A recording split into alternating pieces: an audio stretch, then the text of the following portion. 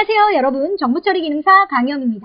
챕터 기타 데이터베이스 용어인데요. 여러분, 기타자 들어가서 여러분이 공부를 여기까지 오시느라 너무 고생이 많으셨는데요. 음, 기타라고 하니까 조금은 안심이 되듯이 여러분이 중요도에서 앞에 있는 네 챕터보다는 조금 시험적인 출제 비중에서는 떨어지는 챕터예요. 하지만 여러분 저희가 다섯 챕터 모두 열심히 해 가셔서 정보처리 기능사 공부하면서 나 데이터베이스는 좀 공부를 잘했다 또는 여러분 기능사 보시고 당연히 산업기사도 자격이 되셨을 때 응시를 하시려면 아 지금 배우는 용어들이 많은 도움이 될 거라고 생각합니다. 하지만 여러분 음, 만약에 시험 기간을 준비를 좀 짧게 급하게 정보 처리 기능사를 합격을 하셔야 돼서 허둥지둥 공부를 하셔야 된다면 이 챕터 5는 챕터 5는 조금 음, 속상하지만 그래도 음, 좀 넘어가도 되는 챕터라고 보시면 돼요. 차라리 챕터 5를 열심히 할 바에는 앞에 있는 챕터 1, 2, 3 해서 4까지 하셔서 여러분 데이터베이스와 관련돼서 개요, 모델링, SQL, 그리고 정규화까지 마지막에 시스템 카탈로그라는 것까지 view를 마지막으로 챕터 4 마무리했죠. 자, 그 앞쪽 공부를 좀 더 깊이 있게 하시는 게 더 확실하게 공부를 해 가시는 거고요. 기타 되어 있는 것은 이 마무리 공부에 혹시라도 난이도가 조금 더 높게 나오지는 않을까 걱정하시는 분들 마무리로 기타 데이터베이스 용어 정리해두도록 하겠습니다. 자, 그러니까 자주는 안 나오지만 분명히 출제 이력이 있었던 부분이에요.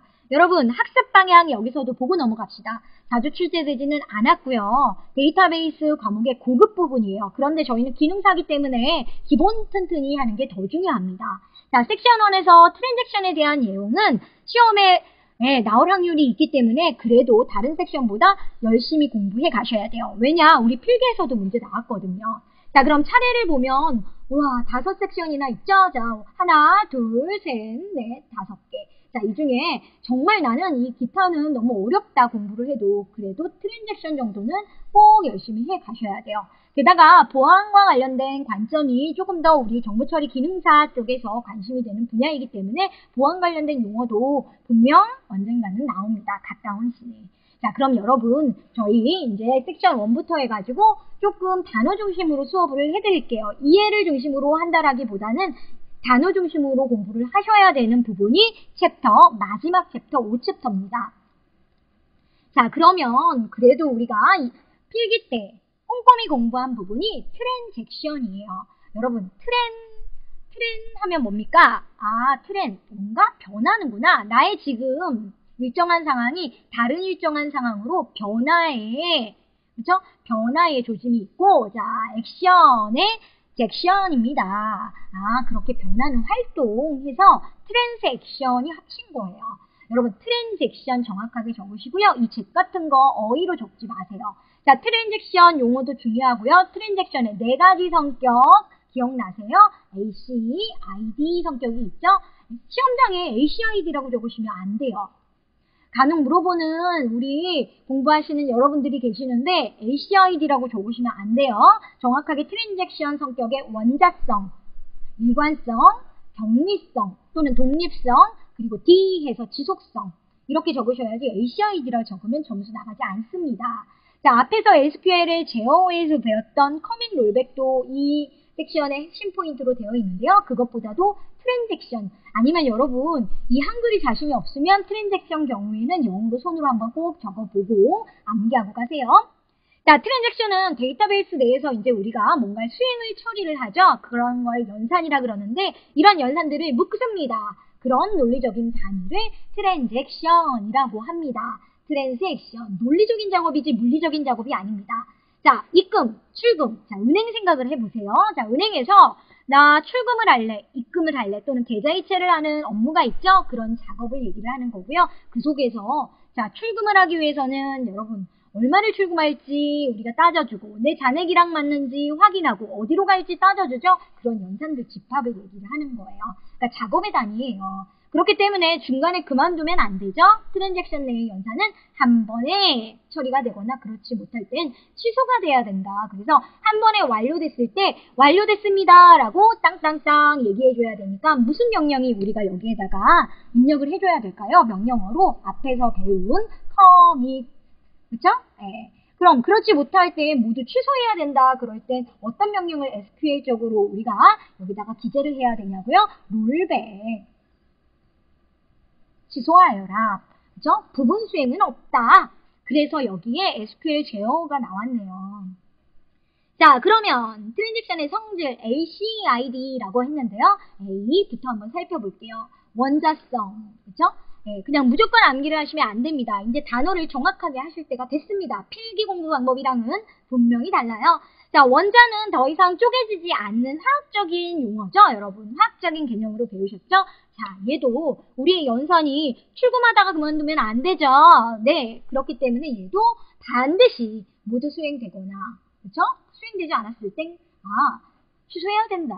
그래서 여기에 전부 또는 전무해서 아, all 또는 nothing스럽게 처리해야 되는 게 원자성이에요. 여러분 잘 기억하세요.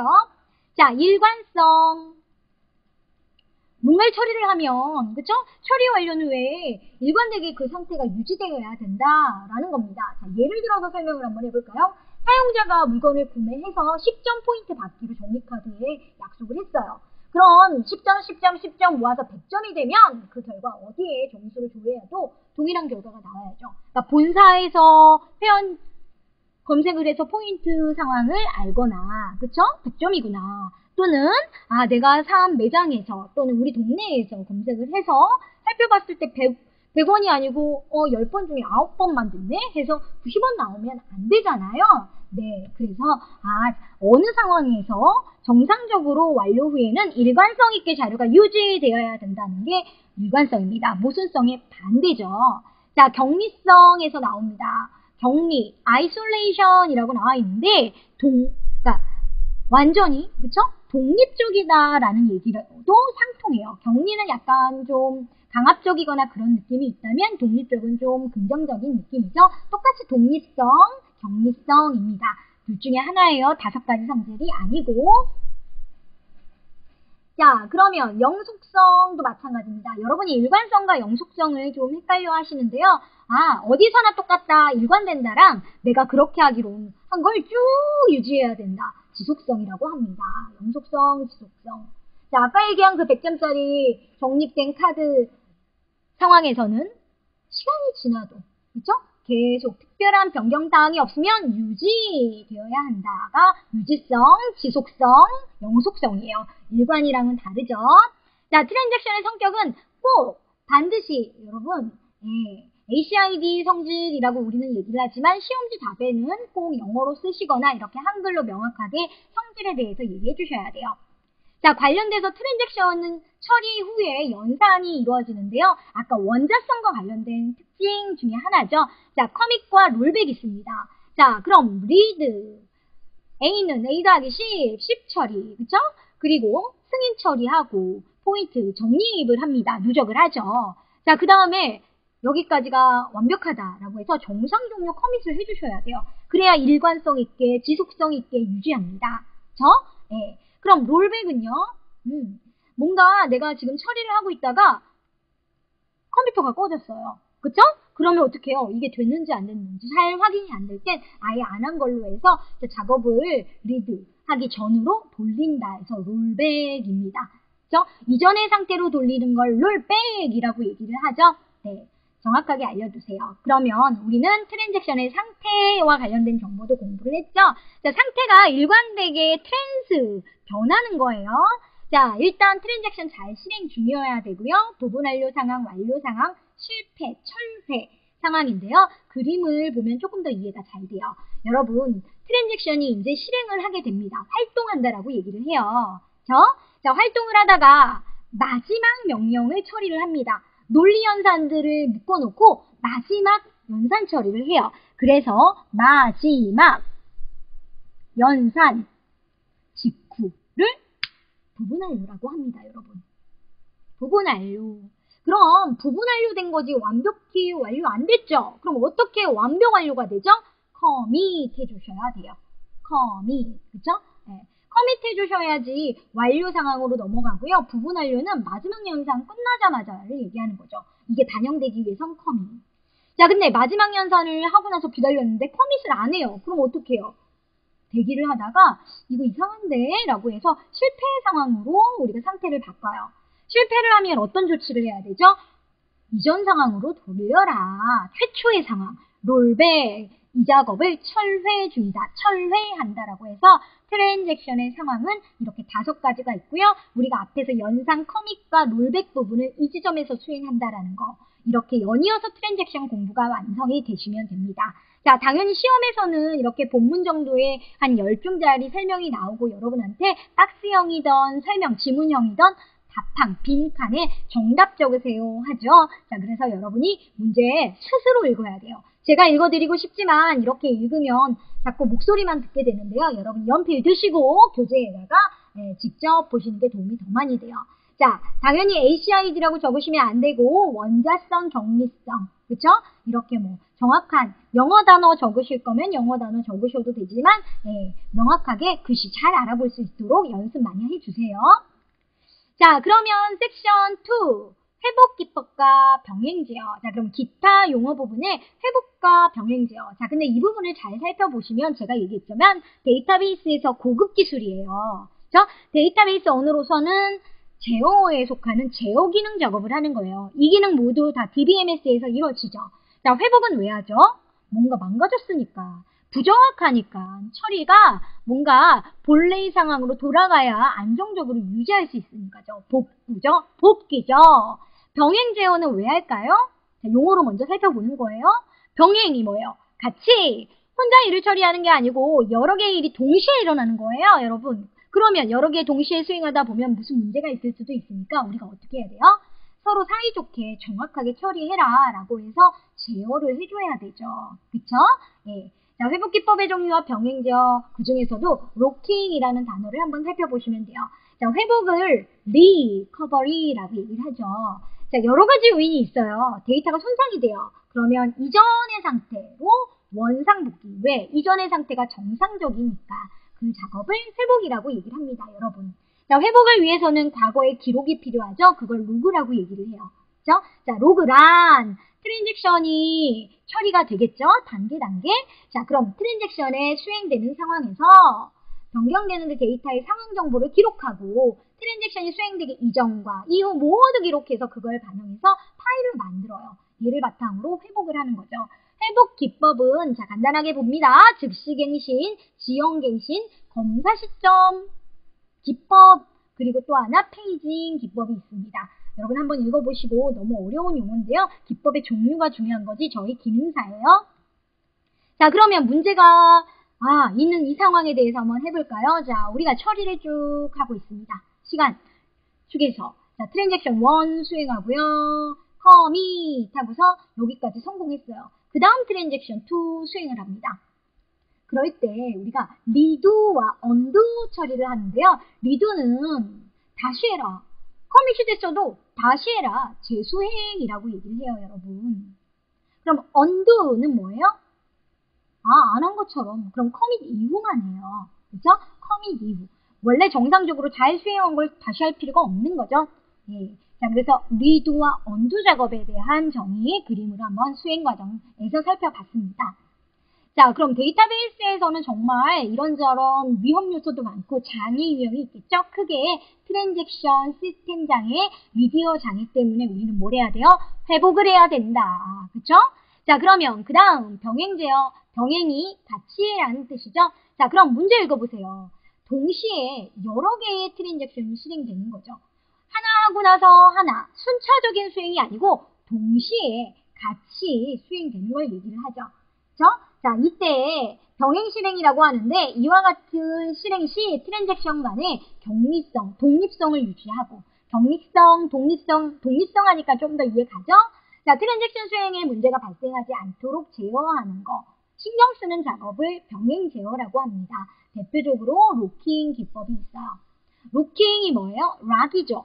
잠가요. 열쇠를 잠그면 못 들어오죠? 그래서 내가 현재 수행하는 transaction이 사용할 때는 다른 transaction 접근 못하게 하는 걸 locking 또는 locking이라고 얘기를 합니다. 아, 이해 가시나요, 여러분? 그냥 용어를 들을 때보다 그래도 한번 읽는, 본문을 읽어보는 게 여러분 조금이라도 더 노력하시면 기억에 오래 남아요. 자, 이제 너무 자세하게 보지 마시고요. 자, 그래서 locking은 우리 필기에서도 공부를 했지만 크게 locking의 단위를 우리 테이블이나 속성, tuple 또는 레코드, 데이터베이스로 잡을 수도 있고요. 순서대로 좀 클 수도 있고 작을 수도 있다는 거죠. 그거에 의해서 병행 수행 성이 영향을 받습니다. 그러니까 크게 잡으면 록을 크게 잡으면 하나만 수행하지만 록을 작게 잡으면 동시에 4개 정도에 대한 접근, 병행 수행이 가능하다. 이 얘기를 본문에서 설명으로 하고 있어요. 상황적으로 여러분 이해는 가시는 것 같습니다. 그렇죠? 자, 병행 제어를 안 하면 이런 문제가 있을 수도 있어요. 갱신, 분실, 로스트, 업데이트 잊어먹는 거예요. 연산의 일부가 손실되는 거고요. 모순성은 어, 정확히 해야 되는데 다른 거예요. 따로따로 했을 때보다. 그리고 연쇄 복귀. 그래서 나 하나만 틀린 걸 취소하면 되는데 줄줄이 틀렸다라고 하는 이 갱신 분실, 모순성, 연쇄복귀의 문제가 있습니다. 여러분 여러 가지가 섹션과 관련된 예, 첫 번째, 두 번째 섹션이었어요.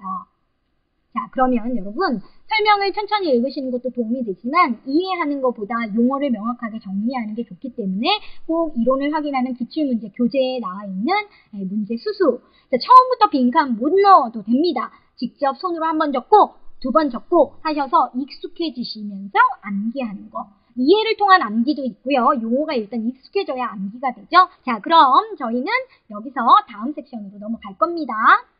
섹션 3입니다. 객체 제한 데이터베이스. 난이도를 봤더니 하네요. 자, 어, 아니 쉬운가? 그래서 난이도가 한가가 아니고요. 시험의 출제 빈도가 많지 않습니다. 자, 공부하는 건 너무 어려운 용어들이 많은데 출제 빈도상의 용어가 너무 어려워서 많이 나왔던 적은 없어요. 그죠? 근데 앞으로 몇 년 후를 봤을 때는 그래도 조금 더 나올 가능성이 있는 부분이기 때문에 객체지향 데이터베이스에서는 용어 중심으로 공부하실 수밖에 없는 것 같아요. 우리 기능사 친구들이 좀 어려울 수 있지만, 그죠? 자, 저희는 시험이 지금 관계 관계 데이터베이스 중심으로 전반적인 시험이 꾸려져 있죠. 표 모양. 근데 실제 이제 실무에서도 그렇고 객체지향 데이터베이스가 등장하기 시작하고 상용화되기 시작했기 때문에 이런 개념들을 아는 건 매우 중요합니다. 자, 관점이 중요한 건데요. 그 전에 저희가 개체를 배웠죠, 여러분. 그 개체라는 상황이 객체로 바뀐 거예요. 여러분, 개체라고 해가지고 저희가 영어로 entity 라고 배웠죠? 그게 객체 지향 데이터베이스에서는 뭐예요? 기억, 객체예요. 어, 여러분 친구들 우리 시험 보는데요. 답탕 적을 때 이 수업 듣고 나서 기억자 적으시면 안 돼요. 자, 객체는 영어로 Object예요. 다르구나. 그쵸? 그럼 객체는 우리 RDB, relation을 얘기하는 관계 데이터베이스에서 얘기하는 거고요. 지금 얘는 ODB, oriented 데이터베이스에서 얘기하는 겁니다. 얘는 능동적이에요. 얘는 정적이라고 얘기를 하고요. 얘는 동적이라고 생, 성격을 좀 가지고 있어요. 그죠? 네. 정보만 얘기하느냐, 속성만 얘기하느냐, 속성과 동작에 대해서 얘기하느냐가 두 데이터베이스의 가장 큰 차이예요, 여러분. 자, 읽어보시면 알겠지만 기존 관계형 데이터베이스에서는 이런 단순 형태의 데이터를 저장해요. 그죠? 근데 우리는 통신도 하고 멀티미디어 자료도 다 다르고 복잡해졌죠? 그래서 이런 상황에서는 객체지향 데이터베이스, 그죠? Object oriented 데이터베이스. 저는 여기에 O만 적은 거예요. 자, 그래서 객체지향 데이터베이스라고 합니다. 이와 같이 객체지향 데이터베이스를 운영하고 관리하는 시스템이 뭐예요? 자, 객체를 관리하는 건 DBMS. 자, 여기에서는 ODBMS라고 얘기를 합니다. 저 최근에 이렇게 새로 등장한 객체지향 데이터베이스고 그 관리 시스템이에요. 그죠? 예. 자, 그러면 object는 도대체 뭘까요? 여러분이 엔티티, 객체를 알고 있기 때문에 어렵지 않아요. 자, 일단 현실 세계에 있는 자료인데요. 그럼 여기까지. 객체란 유형이나 무형으로 현실 세계에 존재하는 하나하나를 얘기한다. 이런 객체예요. 근데 그걸 추상화해서 서부 구별되는 개념 단위를 객체 지향에서는 객체가 아니고 객체라고 합니다. 자, 추상화는 현실 세계를 간략화하는 걸 얘기를 해요, 여러분. 좀 어려운 단어죠. 고급 단어인 것 같죠? 자, 그럼 객체는 관계 데이터베이스에서 개체이고요. 이 개체의 개념에 뭔가 기능을 포함시켜서 연산까지 포함되면 객체라고 얘기를 합니다. 그죠? 객체. 자, 그래서 이 객체는 뭐라고 얘기를 하냐면 우리 속성 attribute 배웠죠? 네, 그거 맞습니다. 속성과 연산의 합이다. 이 연산을 뭐라고 그러냐면 method. 여러분 들어보셨죠? 메시지가 아니고 method. 그죠? 객체는 속성과 연산의 묶음이다 라고 합니다. 속성만 있는 건 뭐예요? 개체. 자, 속성, attribute 똑같죠? 객체의 특성이나 상태 얘기합니다. 관계 데이터베이스와 유사하고요. method 중요합니다. method가 뭔지 먼저 보세요. method는 자, 메시지에 따라 객체가 실행해야 하는 구체적인 연산을 얘기해요. 그럼 얘네들은 연산해라 라고 누가 명령 내줘야죠. 그걸 메시지라고 얘기를 해요. 그러니까 외부에서 메시지가 탁 들어오면 객체가 동작하기 시작돼요. 그쵸? 예. 자, 그러면 클래스는 뭔가요? 라고 하면요. 클래스가 영어로 반, 모임이란 뜻이죠. 그래서 유사한 객체들의 모임을 클래스라고 얘기를 해요. 그죠? 자, 학생 클래스 하면요. 그 학생 중에 홍일동이도 있고, 최영이도 있고, 강용이도 있고, 자, 여러 가지의 객체가 있죠. 그걸 클래스라고 얘기를 해요.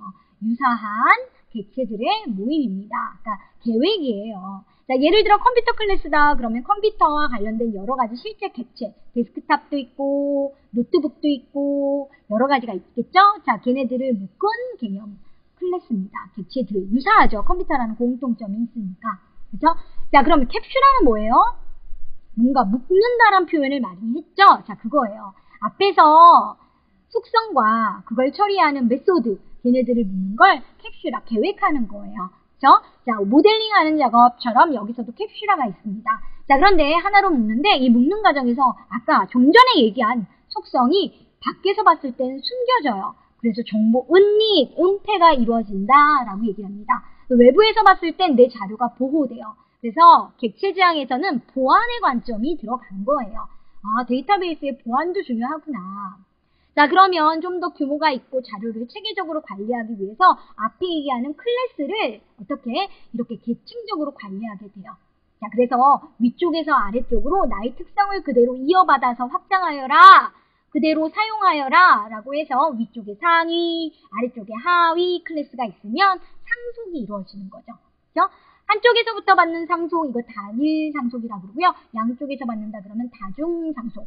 그죠? 부모라고 하기도 하고 자식이라고 하기도 하는데 상하 관계에서 우리가 상속을 통해서 시스템을 크게 확장할 수 있어요. 자, 그러면 또 마지막 용어, 어려운 용어 다형성이 나와요. 폴리모피즘. 자, 그런데 메시지가 메소드로 들어옵니다. 그럴 때, 자, 더해 그러면 내 상황에 맞게 정수를 더한다든지 실수를 더한다든지 문자를 더하는 상황에 맞게 처리. 즉, 동일한 메시지에 대해서 각각 해석하는 방법이 다양하다라고 해서 폴리모피즘, 다형성이라고 얘기를 해요. 객체 지향의 아주 핵심적인 용어를 제가 좀 말을 빠르게 해서 설명을 드렸는데요. 이해를 많이 들지는 않았습니다. 자, 저희 시험 문제에서 출제 빈도는 좀 떨어지지만 그래도 여러분 객체 지향의 개념을 많이 알고 있다는 건 현실 세계에서 여러분이 적응하시거나 사회생활 하시거나 시스템을 봤을 때 많은 도움이 됩니다. 자, 그럼 다음은 보안. 보안과 관련된 섹션 4. 보안은 IT의 화두이죠, 요즘. 매우 중요하게 생각하는 부분이죠. 그럼 저희 정보처리 기능사에서도 가끔 이 보안과 관련된 문제가 나옵니다. 조금 더 이제 미래에는 많이 나오겠지만 아직까지는 이론적인 내용이 나오죠. 자, 보안이라고 하면 철통, 경비를 서는 게 아닙니다. 자, 얘는 자료가 위험하지 않도록 보호하는 거예요. 관리하는 거예요. 자, 정보가 쓸 사람한테 제대로 노출되는 걸 얘기를 하는 겁니다. 데이터의 위험이나 손실, 정보의 유출 등 차단하기 위해 통제된 접근, 접근을 아예 안 하면 안 되고요. 관리를 한다는 겁니다. 통제된 접근을 통해 정보를 안정적으로 관리하는 거예요. 너 가만히 있어가 아니고요. 정보가 잘 운영되고 변경되지 않도록. 그러니까 불합리한 변경이나 불안정한 변경, 위험한 변경되지 않도록 시스템을 보호하는 걸 얘기를 해요. 그죠? 통신 때문에라도 보안 부분은 우리가 지금 많이 공부를 해야 되는 부분이긴 한데 우리 시험에서는 그렇게 많이 실제가 되고 있진 않아요. 보안은 기밀성을 유지해야 돼요. 비밀이죠.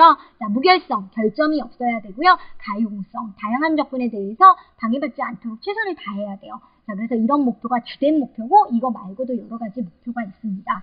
자, 그러면 정보를 보완할 때 가장 기본적으로 하는 방법이 내가 보호하려는 자료를 암호화해서 저장하는 거예요. 또는 암호화해서 통신하는 거예요. 주고받는 거예요. 그럼 암호화 기술을 한번 살펴봅시다. 우리 시험 문제에 가장 기본적으로 자주 등장하고 있는 거예요. 자, 암호화 관련해서는 내가 보호해야 할 메시지와 정보를 문자, 이상한 문자, 알 수 없는 문자, 수치로 변환해서 표현함으로써 정보를 보호한대요.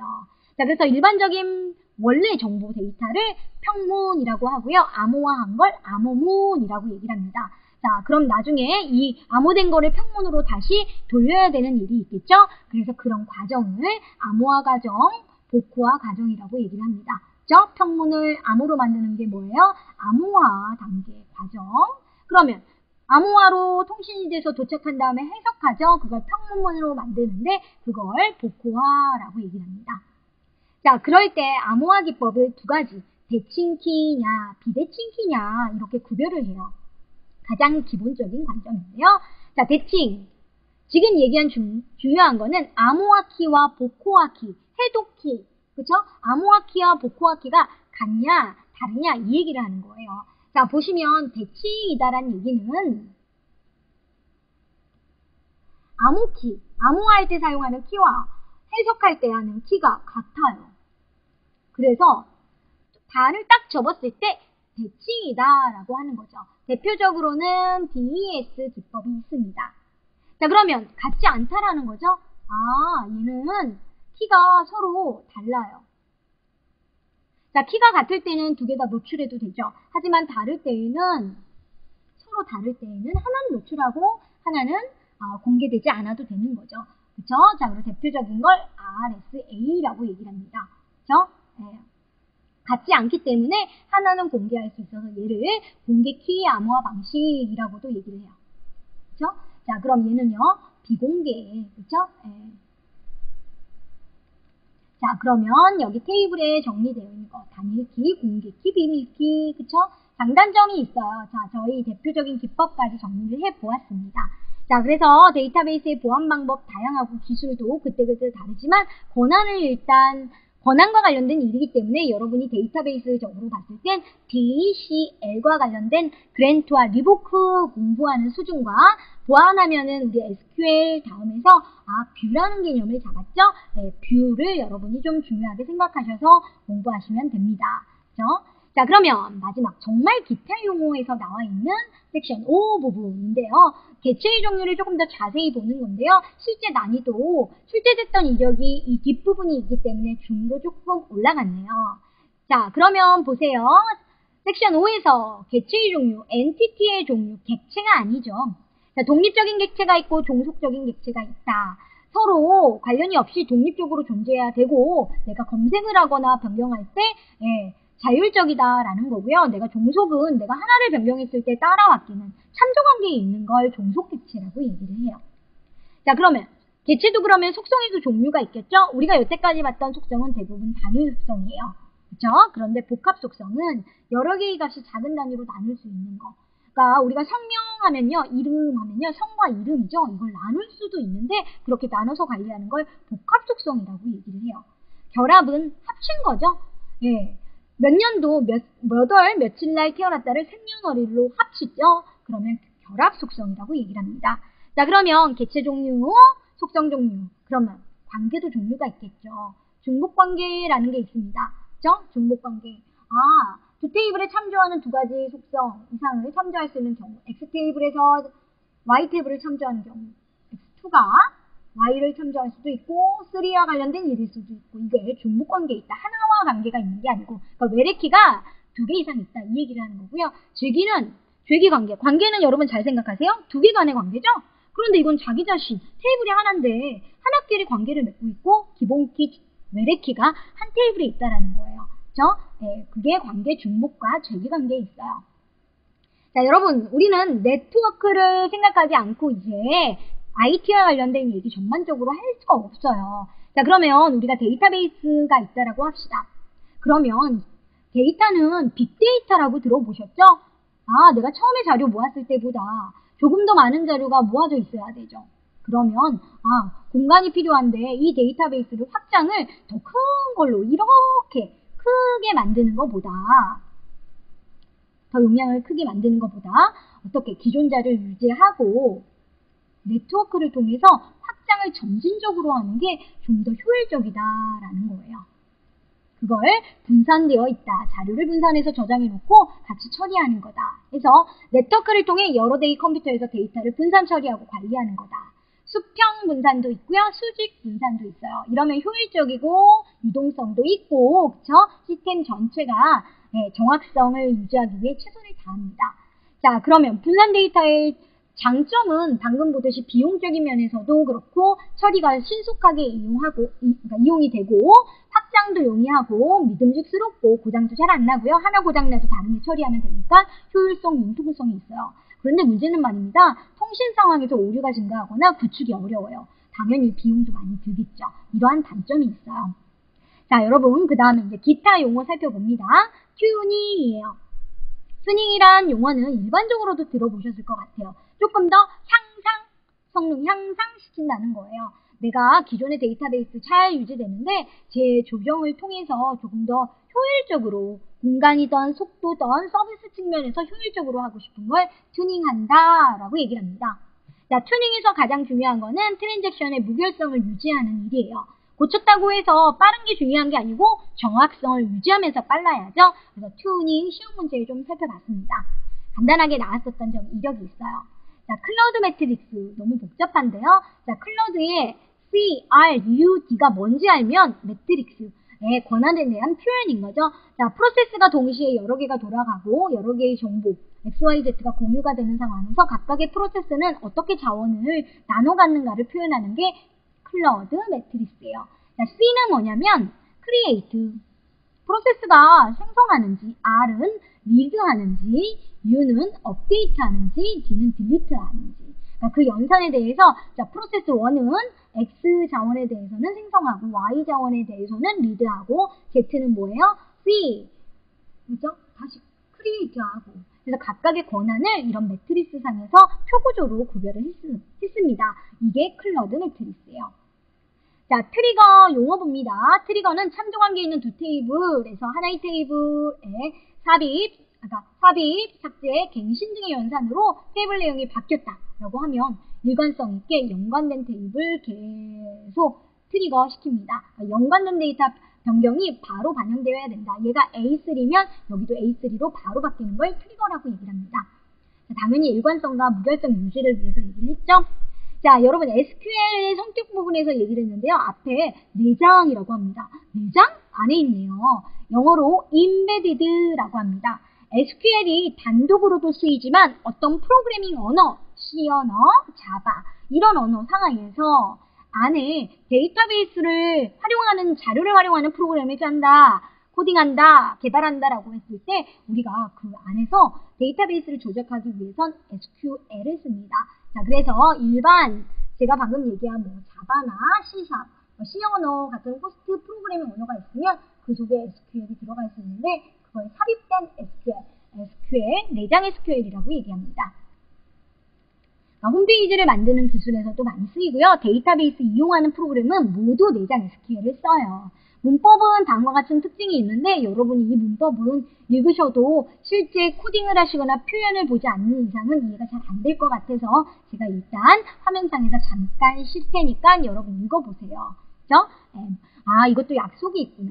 저 execute SQL로 시작한다. 아, SQL 여기서부터 프로그램에서 시작하는구나. 네, 이렇습니다. 자, 그러면 stored procedure는 뭘까요? stored procedure란 자주 사용할 SQL 처리를 미리 하나의 작은 프로그램으로 만들어 놓고 그걸 procedure라고 얘기를 해요. 저장한다라는 거죠. 그래 놓고 필요할 때 그때그때 처리하는 네, 처리하기 위해 만들어 놓은 프로그램을 얘기를 해요. 그러니까 명령어들을 묶어놓은 거죠, SQL. 그럼 효율적으로 처리할 수 있다는 거예요. 자, 이런 좀 어려운 용어가 나오기는 하는데요. 자, 기타 데이터베이스 용어의 warehouse부터 한번 봐볼까요? 자, warehouse. 그냥 warehouse가 아니고 data warehouse죠. 자, 데이터를 우리는 왜 관리를 할까요? 생각하면 실질적으로 데이터를 활용해서 조직을 운영하거나 그렇죠? 회사를 운영할 때 의사결정을 하는데 도움을 받기 위한 거예요. 그래서 그때 자료를 모아놔서 일정량, 대량의 데이터 형식으로 변환 관리하는데 이걸 아주 큰 모음 해가지고 큰 창고에 데이터 모아놨다 해서 정보관리 시스템으로 활용하는 큰 정보를 data warehouse라 그래요. 그런데 중요한 건 뭐예요? 목적이 기업의 의사결정, 어떤 일의 의사결정을 위한 거예요. 그럼 큰 결정, data warehouse고요. data mart는 warehouse보다는 좀 더 사용자 관점에서 조금 규모를 작게 한 거예요. 당연히 얘도 경영 활동을 돕기 위한 거죠. 그러면 mining이라고 나와 있죠? data mining은 데이터가 실제로 존재하지 않는 정보를 얻어내기 위해서 상관관계를 분석하는 기능이에요. 뭔가 처리를 좀 하는 거죠. 직접 데이터가 아니고 유도된 데이터를 가지고 아 정보를 유추하는 걸 data mining 기술이라고 얘기를 합니다. 자, 그럼 그 data mining 기술과 관련해서 관련된 처리 방법이 나오는데요. 사용자가 직접 데이터베이스를 검색하고 분석을 통해 문제점을 해결해야 하도록 해주는 분석형 애플리케이션 개념이죠. 네. 프로그램 이앱 개념은 자, 대규모 데이터를 이용해서 검색 다수의 테이블을 이용하고 연산이 장시간 소요되기 때문에 간단히 해결이 어려워 복잡하다. 자, 근데 이제 영어 보세요. 온라인이라고 나와 있죠. 온라인 검색을 지원하는 data warehouse 도구예요. 온라인을 하는데 뭐예요? 분석을 하죠. 분석 처리를 한다. 그렇죠? 그래서 여러 관점에서 분석을 하는 걸 OLAP라고 얘기합니다. 온라인 처리, 즉 분석 처리, AP라고 얘기를 합니다. 그러면 ODBC는 뭐죠? open database라고 나와 있는 거 보이시죠? 나 혼자 쓰는 게 아니고 여러 사람이 쓴다 해서 개방형이고요. 프로그램 인터페이스.